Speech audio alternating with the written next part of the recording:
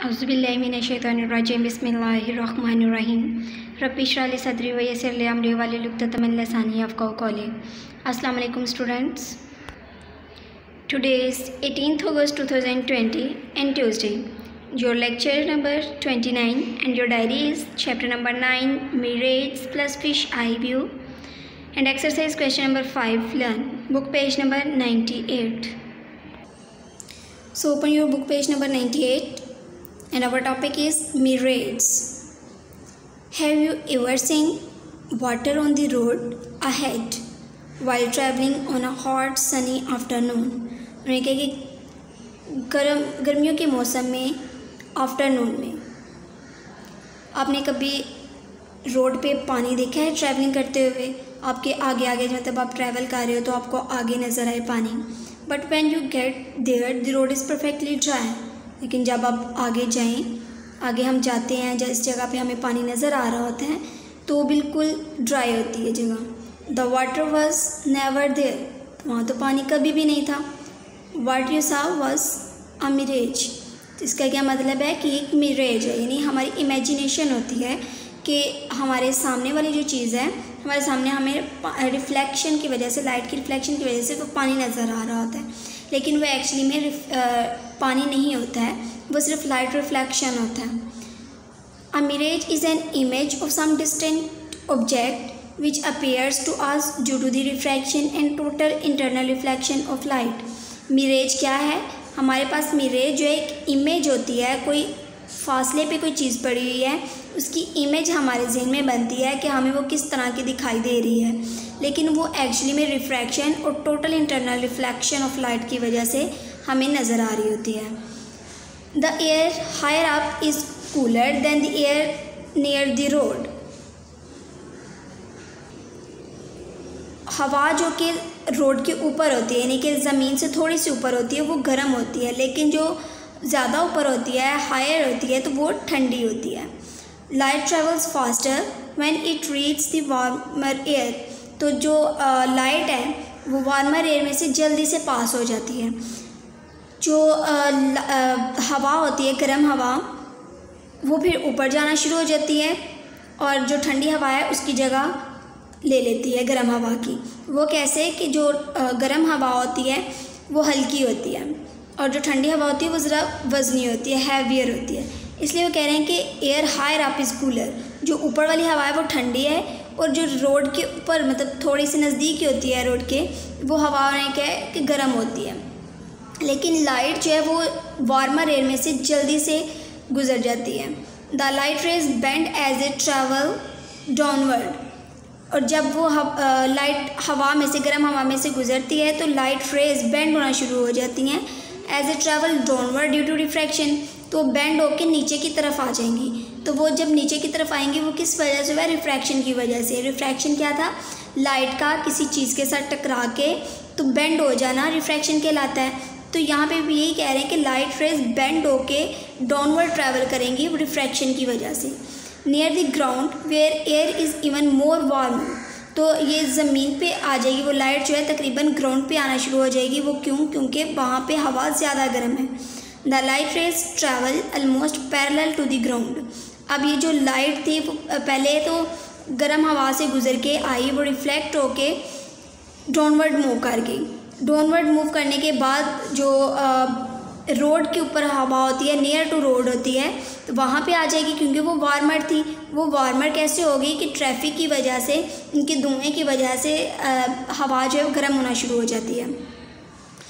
तो उस गर्म हवा में वो लाइट आ जाएगी और लाइट जो है वो फिर पैरेलल साइड पे वो मूव करना शुरू कर देती है ट्रैवल करती है parallel When we see this bending light rays, our brain assumes that the rays have traveled in a straight line. और जब हम इन्हीं लाइट रेज को देखते हैं तो हमारे ब्रेन में ये होता है कि वो स्ट्रेट लाइन में मूव कर रही होती हैं लेकिन क्या है कि वो एक्चुअली में रिफ्रैक्ट होके तो बेंड हो जाती हैं। लेकिन हम जब देखते हैं तो लाइट ऑफ़ रिफ्रैक्शन की वजह से हमें लग रहा होता है कि वो स्ट्रेट मूव कर रही हैं। These rays seems to us as reflection from water और वो रेज़ हमें पानी की वजह से लाइट के रिफ्रैक्शन की वजह से ऐसे दिखाई दे रही होती हैं।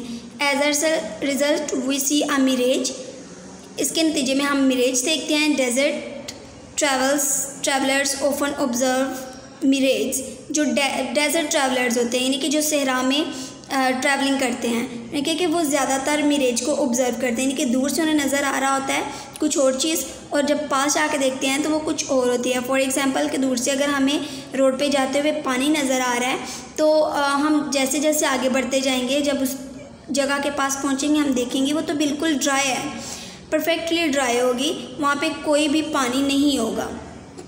वहाँ पे कभी भी पानी नहीं होगा और ये हमें मिरेज कहलाता है, इसे हम मिरेज कहते हैं। क्योंकि ये सारी ही हमारी इमेजिनेशन होती है। हमें दूर से जो नज़र आ रही होती है, वो हमारे लाइट ऑफ़ रिफ्लेक्शन की वजह से हमारी इमेजिनेशन होती है। और ऐसे जब हवा गर्म होती है ऊपर वाली हवा ठंडी होती है, नीचे जो हवा है, उन्होंने कहा है कि रोड पे वो गर्म होती है। वो किस वजह से गर्म होती है? सिर्फ़ और सिर्फ़ ट्रैफ़िक की वजह से। उसके धुएँ की वजह से उसकी जो एनर्जी निकल रही होती है उसमें से, उसकी वजह से वो गर्म हो जाती है। और तो जब लाइट जो है ट्रैवल करती है तो वो वार्मर एयर से बहुत फास्टली मूव करती है ट्रैवल करती है। और इसके बाद जो है वो डाउनवर्ड रिफ्लेक्ट हो जाती है। वो क्यों रिफ्लेक्ट होती है? क्योंकि लाइट जब किसी भी चीज़ में से गुजरती है, एक मीडियम से दूसरे मीडियम में जाना होता है तो दूसरे मीडियम की सरफेस के साथ टकराती है और बेंड होके नीचे को मुड़ जाती है, ये बेंड होके किसी और भी साइड पे मूव कर जाती है। तो उन्हें कहा कि इस तरह ये जो है वार्मर एयर की तरफ़ मूव करेगी और इसके बाद जो है वो लाइट जो है वो ट्रैवल करेगी पैरेलल साइड पे ग्राउंड की। जिसे हम टोटल इंटरनल रिफ्लेक्शन बोलते हैं। और इसके बाद हमारे पास है fish eye view we have studied that when light travels from one medium into another its speed change which causes the light to reflect at the boundary यानी कि यानी कि फ़िश आई व्यू में क्या बता रहे हैं हमें कि जब हम ये पढ़ चुके हैं कि जब लाइट एक मीडियम से दूसरे मीडियम में जाती है तो उसकी स्पीड चेंज हो जाती है। वो which causes the light to refract at the boundary जिसकी वजह से लाइट जो है दूसरे मीडियम की बाउंड्री के साथ, यानी सतह के साथ सरफेस के साथ टकराती है और रिफ्रैक्ट हो जाती है। As light travels from water to air अब इन्होंने एग्ज़ाम्पल दिए है हमें कि कैसे एक मीडियम से दूसरे मीडियम में जाएगी और रिफ्रैक्ट होके उसकी बाउंड्री से तो बैंड हो जाएगी। या फिर उसका एंगल ऑफ़ इंसिडेंस जो है वो इंक्रीज़ हो जाता है। As light travels from water to air जैसे लाइट जो है वाटर से एयर की तरफ़ मूव करेगी it will bend away from perpendicular to the तो वो उसकी सरफेस के साथ टकरा के तो बैंड हो जाएगी और परपेंडिकुलर मूव करेगी। The angle of incidence is greater than 48 degree और जब ये लाइट रिफ्रैक्ट करती है, उसके बाउंड्री के साथ टकराती है दूसरे मीडियम की तो उसका एंगल ऑफ़ इंसिडेंस तकरीबन 48 से ज़्यादा हो जाता है। All the light is reflected back into the water और इसके नतीजे में क्या होता है कि सारी लाइट रिफ्लेक्ट होती है बाउंड्री के साथ और वापस वाटर की तरफ़ आ जाती है।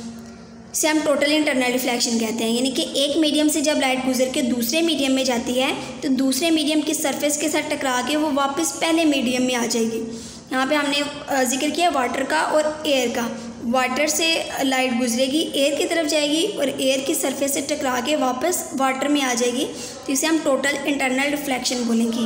वैन फ़िश लुक्स अप और जब फ़िश ऊपर की तरफ़ देखती है। It will see reflected view of the sides and bottom of the pond तो उसे पाउंड्स की बॉटम और साइड का व्यू नज़र आना शुरू हो जाता है लाइट की वजह से।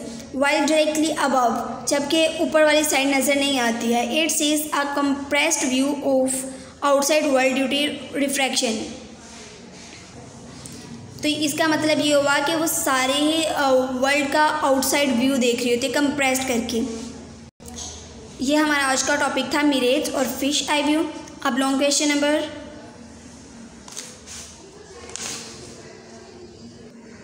फाइव देखते हैं।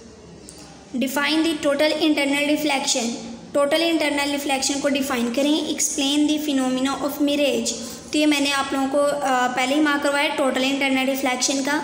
इसमें डेफिनेशन थी हमारे पास। अभी नेक्स्ट जो इसका पार्ट है explain the phenomena of mirage वो पेज नंबर नाइन्टी एट पे है।